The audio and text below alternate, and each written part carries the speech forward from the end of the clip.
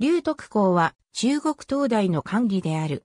劉徳公の名前は大陸側の資料には見えず、日本書紀、富士歯科伝及び海風草の中にのみ現れる。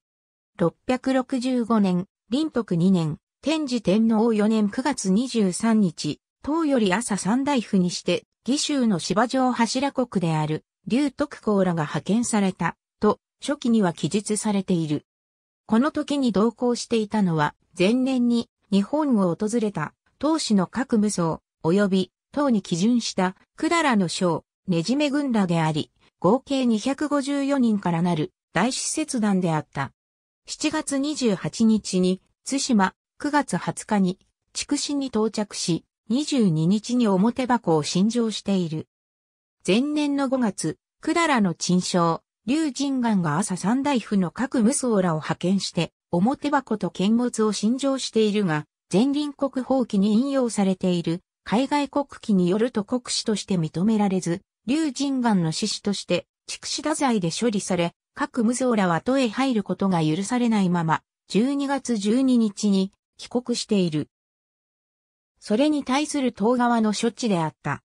なお、初期に引用されている654年の生地広則書によると、藤原鎌足の息子の上映がこの時の船で、唐より帰国したともある。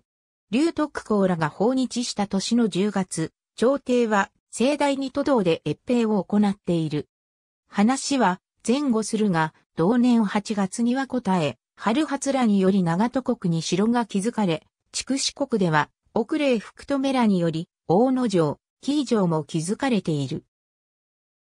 これらは、東国に対する日本側のデモンストレーションであったと見られる。劉徳公らは11月に、朝廷より供応を受け、12月に物を賜った。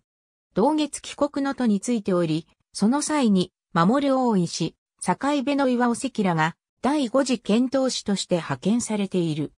また、対日中に、劉徳公らは、大友巫女の風貌を見て、常人と異なっているとしてこの巫女、風骨世間の人に似ず、実にこの国の分にあらずとして褒めたたえた、と、開封層にある。劉徳公が登場するのは、この場面だけであるが、671年正月には、劉神願の使いと称する、李守神が派遣されており、また、同年11月には、各無双が2000人からなる大船団を率いて来日している。ありがとうございます。